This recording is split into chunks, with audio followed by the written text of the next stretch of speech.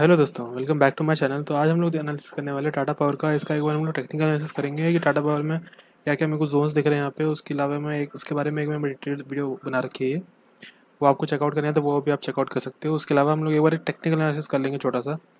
यहाँ पर अगर हम लोग एक चीज़ देखें तो अभी टाटा पावर का ये वाला जोन्स में है। जैसे ये वाला जो जोन दिख रहा है, ये वाला जो पूरा है, एक रेंज बाउंड मूवमेंट में चल रहा है तो यहाँ पे स्विंग ट्रेड्स अगर लेने तो किसी को तो ले सकता है यहाँ पे। ये वाला जो जोन है पूरा, इसमें स्विंग ट्रेड्स लेने तो ले सकता है बट अभी यहाँ पे मेरे को एक चीज़ तो दिख रही है, यहाँ पे एक बहुत ही अच्छा खासा बेरिश पैटर्न दिख रहा है यहाँ पे। ये वाला जो जोन है यहाँ पे अगर हम लोग देखें तो यहाँ पे पहली चीज़ जो दिख रही है, यहाँ पे वॉल्यूम बहुत कम हो गई है। यहाँ पे फोकस करें वॉल्यूम पे तो वॉल्यूम में बहुत ज़्यादा डिक्रीज़ हुआ है तो वॉल्यूम काफ़ी ज़्यादा लो हो गई है यहाँ पे। इसके अलावा एक और चीज़ से देखें तो यहाँ पे ये स्टॉक जो है, ये हर समय इस वाली रेंज में, जो ये वाला जो रेंज है टू से लेकर टू से इस वाली रेंज में रेंज बाउंड कर रहा है तो वापस से तो अभी यहाँ पे देखें तो ये जो नियरेस्ट सपोर्ट जो है, इसका लोकल सपोर्ट जो है, वो 236 पे है। ये एक रेजिस्टेंस से काम कर रहा है। ऊपर के लिए तो ये सपोर्ट है, पर नीचे के लिए भी है, क्योंकि स्टॉक यहाँ पे है तो यहाँ पे ये एक रेजिस्टेंस के जैसे काम कर रहा है। तो मेरे हिसाब से अभी स्टॉक अभी वापस और बेरिश होने वाला है। अगर वो इसके, हम लोग एम एस फोकस करें तो हम लोग देख पाएँगे उसमें डाइवर्जेंस कहाँ तक हो पाएगा। तो मेरे हिसाब से देखो, यहाँ पे अगर आपको दिख रहा हो तो एमएसीडी तो पूरी तरह से कन्फर्म कर रहा है कि यहाँ पे एक अच्छा खासा अच्छा खासा एक बियरिश पैटर्न बन रहा है यहाँ पे एम पे अगर देखें तो ये वाली चीज़ जो है, ये पैटर्न में बताया तो कैसे फॉर्म अप करता है, यहाँ पे थोड़ा सा इसको जूम कर देते हैं। तो ये पैटर्न कुछ ऐसा फॉर्म अप करता है, ऐसा, उसके बाद फिर ऐसा।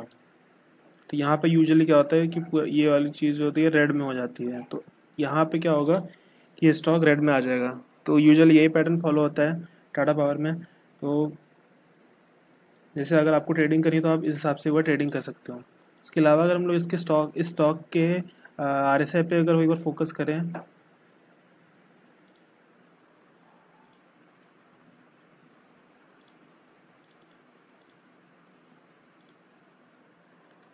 आर एस आई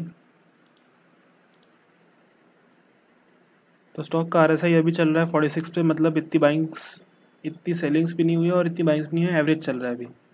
तो यहाँ पे एक अच्छी अपॉर्चुनिटी रहेगी बाइंग्स की इस वाले जोन में। यहाँ पे जो मैंने जोन मार्कआउट कर मार्कआउट कर के रखा हुआ है, ये जोन है 211 के अराउंड या 200 सबसे पहली बाइंग तो यहाँ पे 217 के अराउंड हो सकती है। उसके बाद जो सेकंड बाइंग हो सकती है वो यहाँ पे डिपेंड करता है निफ्टी यहाँ से अप ट्रेंड में आएगा कि नहीं। और मेरे हिसाब से थोड़े दिनों में अप ट्रेंड में आ जाएगा निफ्टी काफ़ी दिनों से गिर रहा है। तो एक रिवर्स बाउंस होता ही है निफ्टी में।